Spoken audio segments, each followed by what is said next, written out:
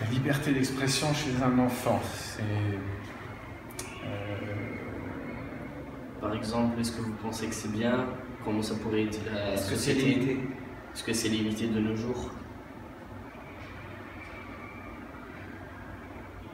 Oula, vaste débat. Alors, la liberté d'expression chez un enfant.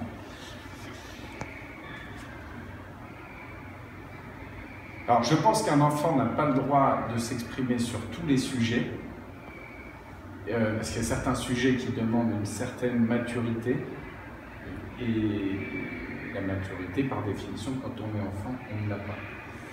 Euh, donc, d'un point de vue général, c'est pas facile à définir. Ensuite, il est bien que les enfants puissent s'exprimer sur des sujets qui les concernent. C'est mon point de vue. Par exemple, euh, la récréation, euh, par exemple, pourquoi il est important de venir à l'école, pourquoi il est important de respecter certaines règles, des choses qui vont les toucher au quotidien. Alors la liberté d'expression, c'est, euh, d'après moi, c'est le fait de, de pouvoir parler déjà, de s'exprimer, donc d'où le, d'où le mot expression, mais surtout de pouvoir dire ce que l'on pense. Selon vous, est-ce que la liberté d'expression des enfants existe? Euh, alors, oui, je pense qu'elle existe. Déjà, déjà, pour revenir la- sur la liberté d'expression, comme j'ai dit, c'est le, pouvoir- c'est le fait de pouvoir dire ce que l'on pense sans en retour être jugé, sans pouvoir craindre d'être- jugé. C'est ça la vraie liberté d'expression. Et est-ce qu'elle existe pour- pour les enfants? Oui. Euh, Oui, je pense qu'elle existe. oui. Et selon vous, est-ce que la liberté d'expression est limitée chez les enfants? Alors, elle peut être limitée. Donc, euh, elle existe, oui. Elle, peut être limitée, oui, sûrement. Après, ça dépend, ça dépend des, euh, par exemple, des familles, d'où est issu l'enfant, euh, de la culture, de l'environnement. Donc, il y a des, voilà, dans certaines cultures ou dans certaines traditions,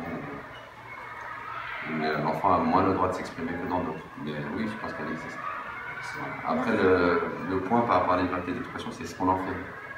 L'enfant peut s'exprimer, mais qu'est-ce qu'on en fait? Est-ce qu'on la prend en considération ou pas? Alors, les solutions, euh, le travail doit être un travail d'équipe euh, au niveau de la famille, au niveau des établissements scolaires et au niveau de l'État. Donc, euh, c'est toute la société qui, doit, qui doit réagir.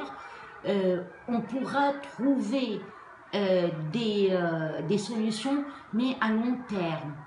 Il y a des pays peut-être qui ne savent pas encore, euh, qui, qui donnent cette- ce droit à l'enfant, mais qui ne l'appliquent pas vraiment, qui sait que cet, enfant a le droit à l'expression, mais il y a dans, je pense qu'il y a des pays qui ne l'appliquent pas.